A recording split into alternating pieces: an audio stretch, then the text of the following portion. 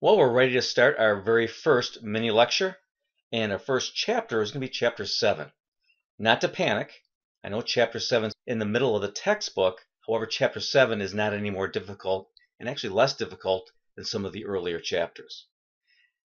In the first slide in every mini lecture, I'm going to give you a set of pages or a number of pages to read before you start, and this will give you the necessary background to understand the information in the chapter and in the mini lectures. I've also noted here to pay close attention to the bold or italicized terms in the text because these are the terms that I typically will put on the quizzes and the assessment assignments.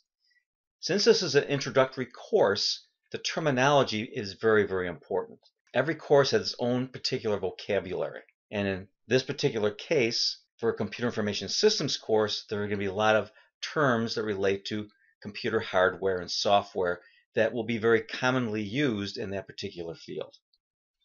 You'll also notice that in some of the slides, I provided a notes and activities section to help you give you additional information or tips or even links to other websites that will help clarify that particular topic.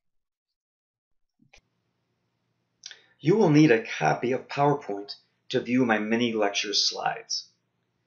If you do not have a copy of PowerPoint, you can download a free PowerPoint viewer from Microsoft.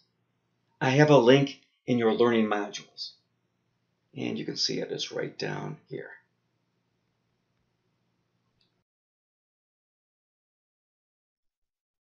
You will notice there's going to be PowerPoint slides in each chapter. And I wanted to give you a brief description of what the PowerPoint slides provide. First of all, it's a brief summary of the chapter topics contained in the textbook.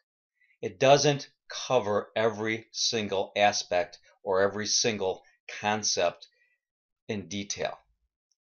It does give you additional examples of information to help clarify the more difficult topics contained in the text. So I may see a particular topic in the textbook that I think needs further explanation, and I'll include that information into a PowerPoint slide. I'll also provide web links that are relevant to a particular topic area. So again, to try to give you some more background information or more recent information on a particular topic area. What don't the PowerPoint slides cover? They do not cover all the terms that you're responsible for that are contained in the particular textbook chapter. So you will need to read the textbook. I can't emphasize that enough. You will have to read the chapter carefully you will not be able to score well on the assessment assignments and the quizzes simply by reading the text-based slides. So please read the range of pages I've given you. There are also activities at the end of each chapter that'll help you review the topics and the terms of that chapter. So if you need some additional help studying, there are fill in the blank questions, multiple choice questions, matching questions available for you to work through.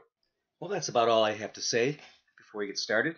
I just wanted to give you a few tips and guidelines, and I will see you at mini lecture one for set PowerPoint slides.